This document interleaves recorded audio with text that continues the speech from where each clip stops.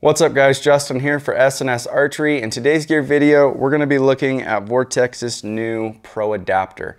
Now this is a binocular attachment that you can run your binos off of a tripod. Um, we highly recommend using tripods um, for glassing. It just really steadies you up, um, especially if you're using big optics like 18s or 15s. Um, I've previously ran the Vortex Bino attachments in the past and kind of had some issues with them.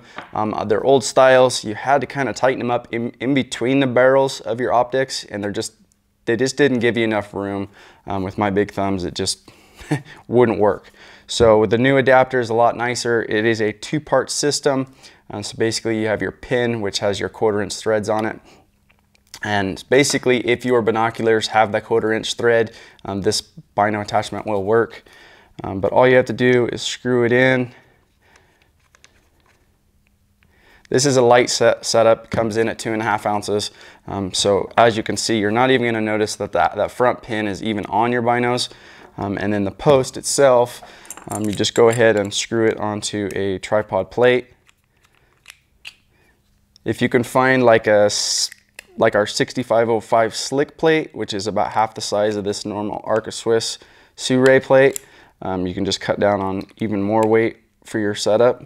Uh, once you have it tight, you'll go ahead and throw on your plate to the top of your tripod head.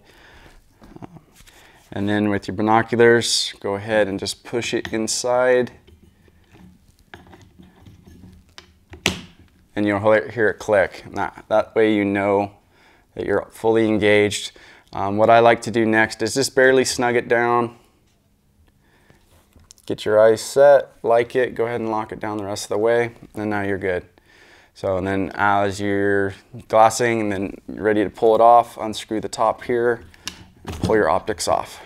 So very easy, very, very nice design by Vortex. Uh, we have a bunch of them in stock. If you guys have any questions about the Vortex Pro adapter, Feel free to give us a call, shoot us an email. We'd be glad to help. Thanks for watching.